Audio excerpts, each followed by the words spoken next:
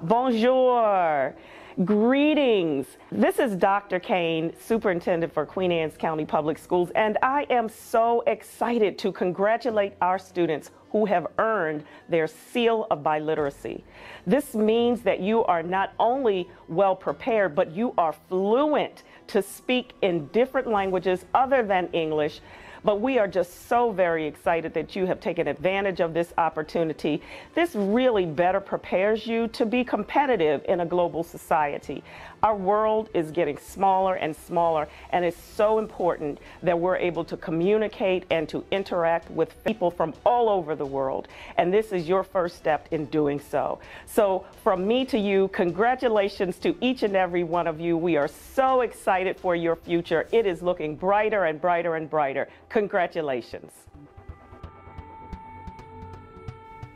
The Maryland Seal of Biliteracy is an award presented by participating school systems who recognize students with a high proficiency level in areas of reading, listening, speaking, and writing in one or more languages other than English.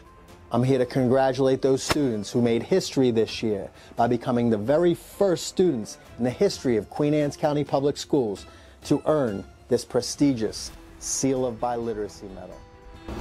Hi, I'm Greg Paluski, Deputy Superintendent of Queen Anne's County Public Schools. I want to congratulate all of our students that have completed and achieved the Seal of Biliteracy.